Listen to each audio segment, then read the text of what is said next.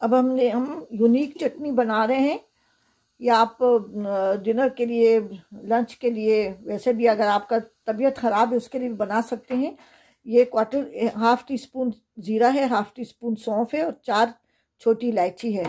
ये अनार के दाने हैं, ये एक कप है और ये तीन टुकड़े अदरक है, तीन जवे लहसन के हैं।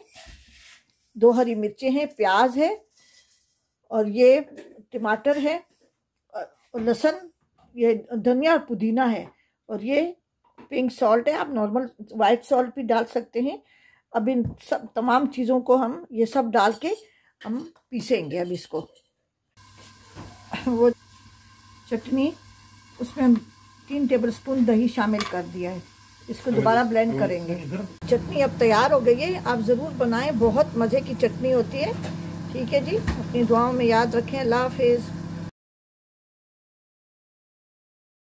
पहले हमने वो चिकन रखा था। ये भी चिकन है। चिकन बोटी है। वो चिकन लेग्स है। और ये कीमे के सीख कबाब है। देखिए बिल्कुल नहीं गिरे ना। पपीता ना हो ना फिर बिल्कुल नहीं गिरते।